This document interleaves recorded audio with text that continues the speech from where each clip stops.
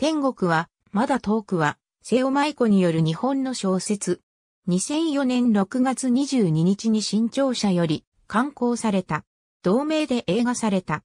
仕事も人間関係もうまくいかず、息が詰まりそうな辛い毎日に疲れた千鶴は会社を辞めて死ぬことを決意し、北へ向かう特急電車に乗った。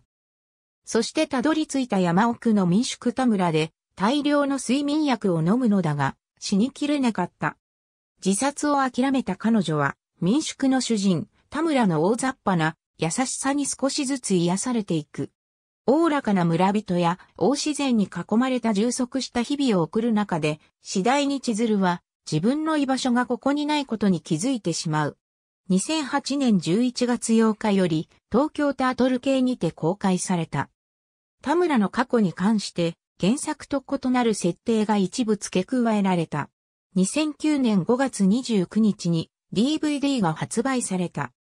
私が死んでも世界は動くと題してスピンオフドラマが制作され、映画公開に先駆けて2008年9月11日から毎週木曜に au1 ビデオにて配信、またファミリー劇場にて同年11月10日から11月21日まで月曜から金曜の20時55分から21時に放送された。全10話。主演は石橋夏美でテレビ東京のオーディション番組逸材の au 携帯ドラマ歌えて演技もできる女の子オーディションにて選出された。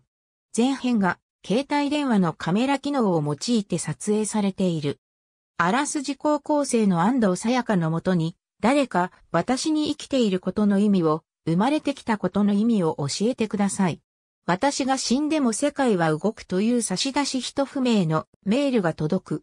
さやかはメールを通じて謎の差出人と心を通じ合わせようと試み、直接会いたいと見やず、天の橋立へ向かう。キャストスタッフ、ありがとうございます。